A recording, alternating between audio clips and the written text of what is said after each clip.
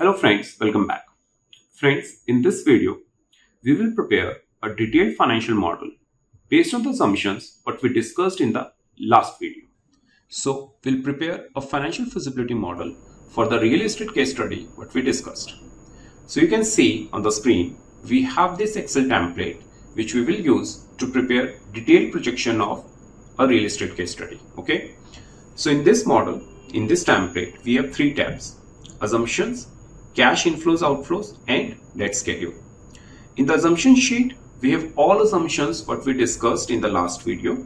So you can see my day one investment, $50 million. Okay. This is the investment required on the very first day. Transaction and legal cost, $1 million. Again, this investment is also required on the very first day. Operational capex. So we need to incur $15 million of operational capex over the period of 24 months. Okay. So over this 24 months, we will incur $15 million of operational capex to convert this property into apartments. Okay. And the monthly capex would be $0.63 million. How we calculated this monthly capex? 15 divided by 24. Okay. Then capex start month. In which month we are starting to incur this capex? Month 1. And capex end month. When this operating capex will stop? At the end of 24 month. Okay. Operating expenses per month. To run this project, we have to incur some operating expenses. Per, per annum operating expenses, $1 million. And per month operating expenses, 1 divided by 12, $0.08 million. Operating expenses start month 1 and operating expense end month 48 because this project will go on for 48 months. How we calculated 48 months? For first 24 months, there would be development of the project. Okay. So we'll take 24 months to convert this property into apartments. And then after completion of development, we will take 24 months to sell this project, to monetize this project. So total tenure of the project is 48 months. Okay. So these operating expenses will be incurred for 48 months. Okay. Development area. The total area we are developing under this project, 20,000 square meter. Okay. This is the sellable area.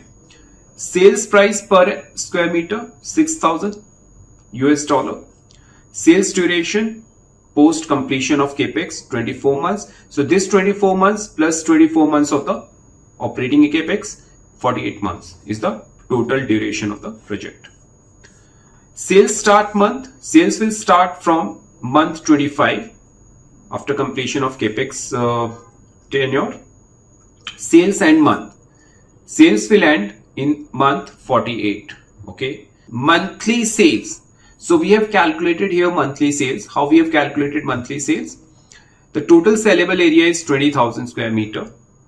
Per square meter selling price is 6,000. This would be total selling price of the project. Okay. We'll do this sales over the period of 24 months. So this divided by 24 will get monthly sales. So you can see I put formula here. Formula is G13 which is development area into 6000 selling price per square feet square meter divided by G15 which is the duration of the sales 24 months divided by 10 raised to the power 6 basically I've converted this number into millions. So monthly sales is 5 million dollar. You can see guys I've converted every number into monthly sales or expenses Reason being, I have to do modeling here on the monthly basis. Okay. So here we had total operational capex of $15 million. I've converted this into monthly capex. Okay. Operating expenses, $1 million was for one year. I have divided this with 12 and I got monthly operating expenses. Okay. Capital gain tax, 10%.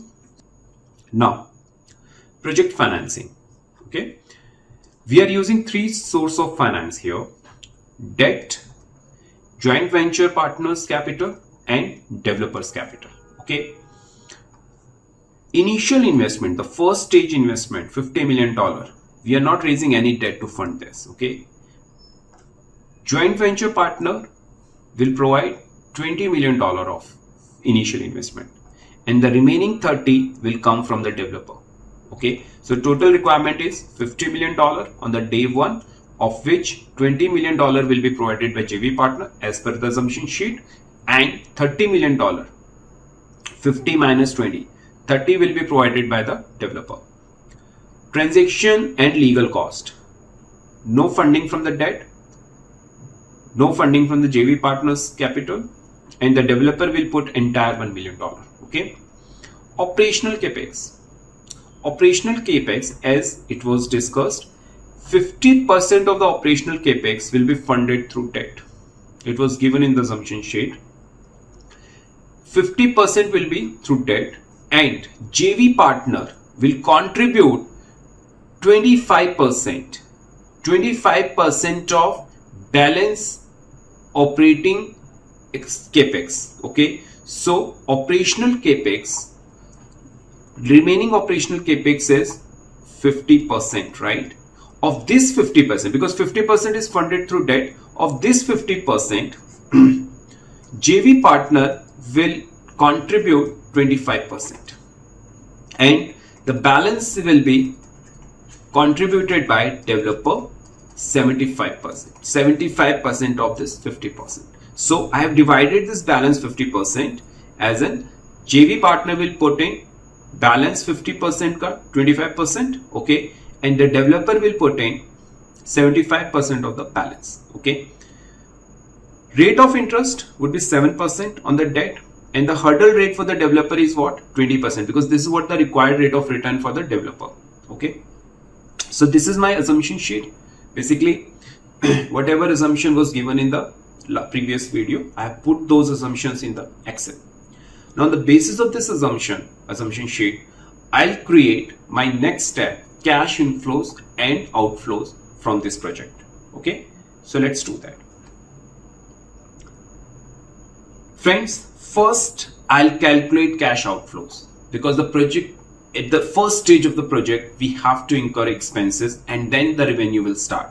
So first I'll calculate cash outflows and then cash inflows. So let's start with the cash outflows. Okay. So as you can see, as per assumption sheet, I have three type of cash outflows. One, day one investment. This is cash outflow. You have to put in $50 million then transaction and legal cost. This is cash outflow number two. Then operational capex, cash outflow number three. And there is one more cash outflow, which is what? Operating expenses. So not three, there are four sources of cash outflows. Initial investment, transaction legal cost, operational capex and operating expenses per annum. Okay. So let's calculate monthly cash outflow in our model. Friends, you can see in this template, in this format, we have monthly uh, column, okay, starting from month zero means the day one and it is extended up to, this model is extended up to 48 months. This, this is the total duration of the model. Now friends, cash outflows, initial capex, the first stage capex, day one capex will be incurred in lump sum. Okay. So it will be incurred on the first day in the zero month. So let's let's directly link this capex from the assumption sheet. $50 million. Then transaction and legal costs. This will also be incurred on the first day. Let's link from the assumption sheet. This one. Then friends, operational capex. So as per my assumption sheet, operational capex would be $15 million. Monthly capex would be 0.63, which I have already calculated in the assumption sheet. Okay. This will start, the capex will start from month one, the first month and going up to month number 24 of the project. Okay. So month number 1 to month number 24 of the project. During this phase, of the project, we will incur operational capex. So let's link. So friends, we can automate this or we can directly link punch this value like this. Month one, my operational capex would be say 0.63 and I'll just interlink this number like this up to 24 months. Or I can also automate this so that in case I change in the assumption say if I say okay no operational capex will be extended from uh, uh, uh, from 24 months to 36 months okay? So it will be incurred during the period of month 1 to month 36 my model should automatically capture this okay I can automate this how I can automate automate this I'll use if statement here. Say my condition is what? If this month, if this month is falling in this range, capex start month and capex end month, okay? So if this month is equal to or greater than 1 and less than or equal to 24 month, if this is falling in this, this period, okay, we should get 0.63 there. Otherwise 0 so I can put formula here. In the what would be formula here? If and because I need to meet two conditions here. If bracket start and. Again bracket start. Logical test 1 logical test 2 there can be multiple logical tests okay? So if there are more than one logical test you have to apply and function with if okay? If and and means I need to meet two conditions okay? If and this month is greater than or equal to if it is 1 or more than 1 what? Greater than or equal to capex start month g8 okay? Condition number 1 condition number 2 this month is less than or equal to capex end month which is last month of the operational capex. If this month is falling in this time frame, give me 0.63, which is what? Operational capex. Okay. Otherwise, give me zero. Though we have to freeze couple of cells there. Let's see what we need to freeze. And you can see we got 0.63 here. Reason being, this month one is falling in that range. Month 1 to month 24 my tenure of my phase of operating capex okay? Now what we need to freeze in this formula? In f3 which is my month okay i need to freeze not column just row. Because if i drag this on the right hand side it should pick the next column. So i should not freeze column. I should freeze only row. Of assumption g8 that num that cell is fixed. I need to fix both row and column both okay? Yeah. Function f4 f3 again I'll freeze row not column. G9 I'll freeze row and column both. I6 again fixed cell of the assumption. Sheet it will not change. I'll freeze both and enter now friends if you drag this if you drag this till end it will automatically stop where your operating capex period is ending. Let's see. If I drag this up to month 48, though my operational capex will end in month 24. So let's see whether it is stopping at 24 months or not. Yeah, you can see it is stopping at month 24 because I put formula here that do the linking of 0.63 only if your month your column which is your month right num number of the month is falling in the range of 1 to 24 okay? Otherwise give me 0 okay? So it is working fine. Now friends my last cash outflow operating expenses.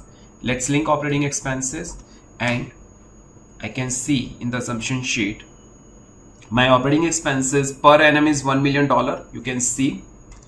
And per month is 0.08 I converted this into monthly. The start date of the operating expenses month 1 and the end is 48 so it will be incurred over the entire life of the project okay? So let's link this. I'll be using the same function if and okay? Uh, those cell reference will change okay? So I'll put this function again. It will start from month one. So I'll say if again bracket start and bracket start. This month is greater than or equal to my start month of operating capex which is 1 comma condition number 2 this month again the same month is less than or equal to is less than or equal to the last month of the operating capex month number 48 if these two conditions are satisfied bracket close give me what? Give me this monthly operating capex which is i10 okay? Otherwise give me 0 enter. So friends you can see we got 0.08 because this month is falling that range. And we need to freeze what? In F3 we need to freeze just row. Assumption G11 we need to freeze both row and column. Again F3 I just need to freeze row. Uh, G12 I need to freeze both. Assumption I10 I need to freeze both. Okay? And enter. Now if you drag this ideally it should pick you know the my model should pick operating capex for all 48 months let's see if it is working or not it's working fine okay so friends you can see we got all cash outflows all component of cash outflows for this project the first stage capex transaction cost operational capex for 24 months and operating expenses for 48 months. Now, I'll sum up total cash outflows in this row, row number 11. So sum of all cash outflows. And just track this. Okay, just track this sum formula for entire life of the project. Okay, so you can see we have estimated cash outflows. Okay? Now we need to estimate cash inflows basically sales. So you can see as per assumption sheet my sales will start from month 25 this is the start month of the sales and ending on month 48 okay and my monthly sales is how much 5 million dollar which I have already calculated on the basis of 20,000 sellable area and per square meter selling price is 6,000 okay so let's link this. I'll put if condition here. I can start with the zero month also because I'm going to put if and condition there. So I'm saying if again bracket start and bracket start. Logical test one my month the column heading is greater than or equal to my first month of the sales which is month 25 and second condition is what? This month is less than or equal to the last month of the sales. Bracket close. Give me $5 million monthly sales. Else give me zero. Bracket close and enter. You can see we got zero here because my sales, this column is not falling in my sales period. Now I'll freeze E3 or uh, row in E3. Okay. And G16 I'll freeze both row and column E3 again I'll freeze row okay. Uh, G17 I'll freeze both. G18 I'll freeze both. And enter. Now friends if you drag this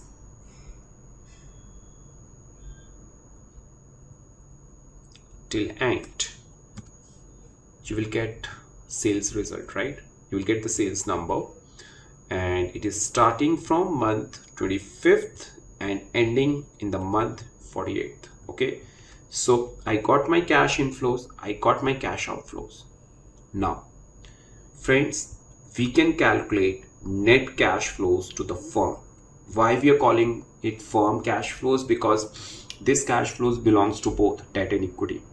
We have not segregated this cash flows between debt and equity right? So Let's calculate cash flows to the firm. Total cash inflows, which is my sales, minus cash outflows. So we have negative cash flows. It means we need to put in money in the zero month, $51 million. And we can drag this till end.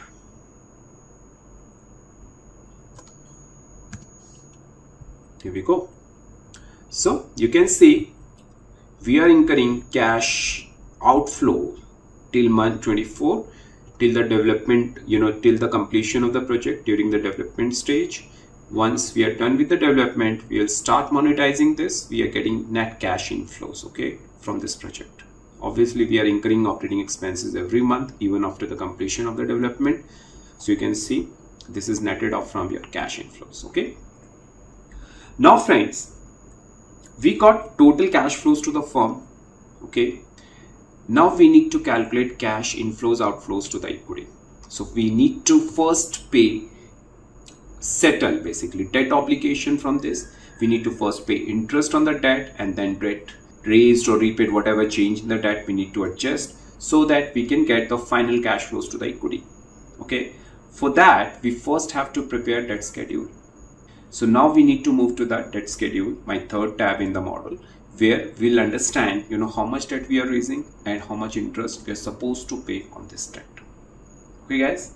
So let's move to the next tab debt schedule. Friends, as you can see in this debt schedule, we have opening balance of the debt, debt raised or repaid during the month, okay, and then the closing balance. On this basis, I'll calculate my interest payments. So let's do this calculation, calculation of debt, interest and all in the next video.